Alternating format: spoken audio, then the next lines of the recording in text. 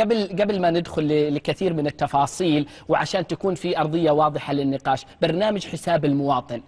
إيش البرنامج والهدف والمبرر من وجوده الآن عشان نوضح للناس؟ طيب آه، بداية برنامج حساب المواطن. آه، خلينا نعرف البرنامج أولا. هو برنامج أنشئ لإعادة توجيه ورفع كفاءة الدعم الحكومي. اليوم في برامج دعم كثيرة. آه، ودعم للسلع بشكل عام.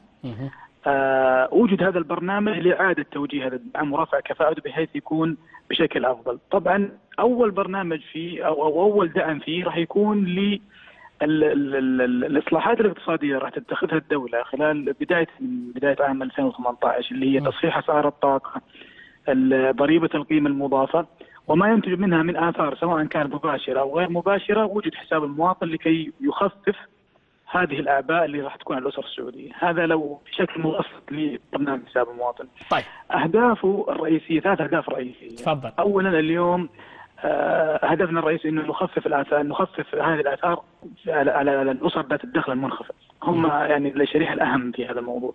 أن يكون يعني سياستنا أو دعمنا نوفر آه، نخفف قدر الإمكان من ال- ال- الآثار على ذوي الدخل المنخفض. طبعا إحنا نعوض كمان الدخل المتوسط ولكن آه، لابد أن يكون آه، الدخل كافي أو التعويض أو الدعم آه، كافي لل- للفئة هذه الهدف الثاني إنه نرفع ال- توجيه الدعم بدل ما هو الوضع الحالي الآن الكل السلعة مد- مدعومة وال- وما في عدالة في عملية الدعم. آه ثالثا إنه يتم ترشيد الاستهلاك لل- لل- للطاقة والموارد هذه نعم. الطبيعية. فبالتالي اليوم لو لو رفع الدعم راح يكون في هناك آه بعض ال- ال- الأسر راح تعيد آه، النظر لاستهلاكها. جميل. وبالتالي آه، رشدنا. يعني كنا أحد الأسباب اللي ترشد هذه. جميل. واضح الأهداف آه، مهندس علي.